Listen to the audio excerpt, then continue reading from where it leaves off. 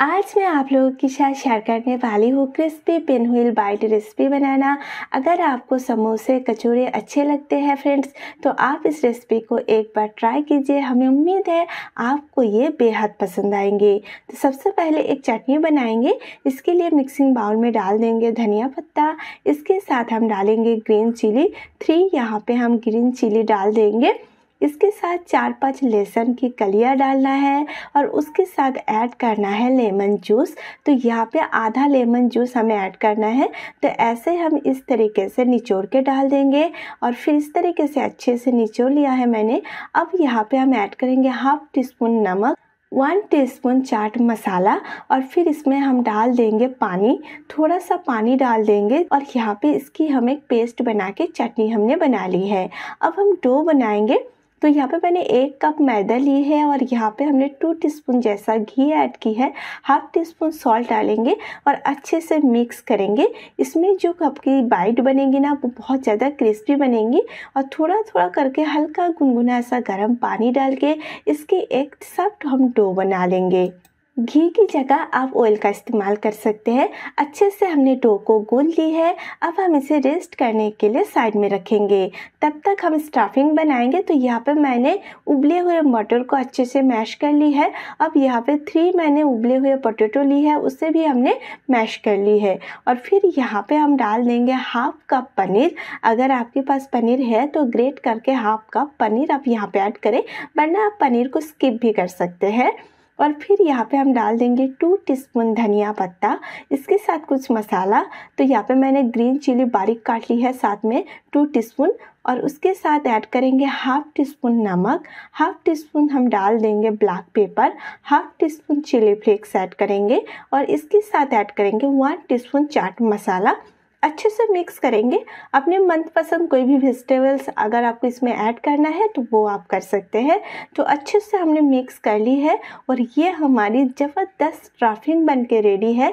जो मटर है ना, उसे हमने हल्का सा उबाल लिया था और उसके बाद उसे हमने अच्छे से मैश कर ली है। और जो डो है, आप देख सकते हैं, अच्छे से हमने गूंद के रखा था, वो रेस्ट हो चुकी है। तो इसे मैं और एक बार अच्छे से गूंद लेती हूँ। ताकि ये बहुत ज़्यादा क्रिस्पी बनेंगे। तो अच्छे से गूंदने के बाद ये जो डो है ना, इसे हमें दो हिस्सों में काट करना है, ताकि इसे हम आसानी से बेल पाए और इसे बहुत ज़्यादा मोटी भी नहीं बेलना है। तो बस यहाँ पे सबसे पहले हम ऐसे काट लगा लेंगे। ये जो बाइट बनेंगे ना फ्रेंड, ये एक बात बहुत अच्छी है कि एक बार में आप बहुत सारा बना सकते हैं।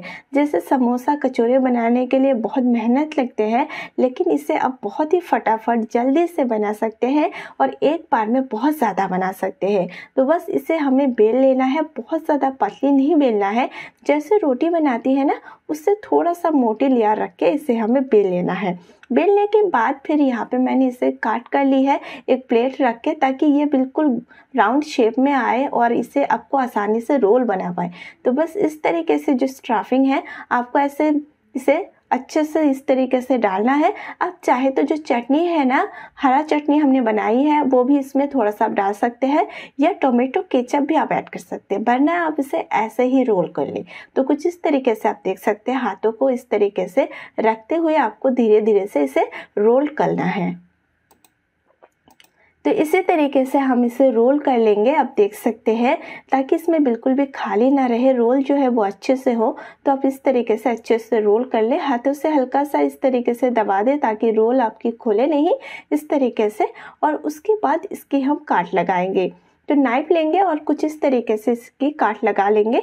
इसी तरीके से इसकी साइज़ रखेंगे, ना ही ज़्यादा मोटी करेंगे, ताकि ये अच्छे से फ्राई हो जाएगी जल्दी जल्दी और क्रिस्पी भी बनेगी। तो बस इसकी साइज़ मैंने कुछ इस तरीके से रखा है। जैसे इस तरीके से आपको काट लगाना हो जाएगी तो हाथों में लेके इसे हल्का सा इस तरीके से आपको, इस तरीके से हल्का सा, दोनों साइड लेके हल्का सा प्रेस करना है ताकि जो स्टाफिंग है वो बाहर नहीं निकले। तो कुछ इस तरीके से आपको हाथों से इस तरीके से दोनों साइड बस हल्का सा प्रेस करना है और बस ये बस तैयार है, आप देख सकते हैं।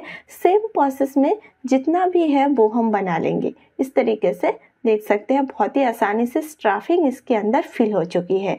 तो बस सारी हमने कुछ इस तरीके से बना ली है, आप देख सकते हैं, अच्छे से बहुत सारा बन के रेडी है। अब हम एक बैटर बनाएँगे तो इसके लिए यहाँ पे हम लेंगे थ्री टीस्पून मैदा और इसमें डालेंगे half teaspoon salt half teaspoon chilli flakes half teaspoon यहाँ पे हम ऐड करेंगे ब्लैक पेपर इसके साथ मैंने ब्लैक सीड्स ली है हाफ़ टी स्पून और यहाँ पे पानी डाल के इसके एक पतली सी बैटर बनाएँगे बैटर बहुत ज़्यादा पतली नहीं करेंगे और ना ही बहुत ज़्यादा गाढ़ी करेंगे।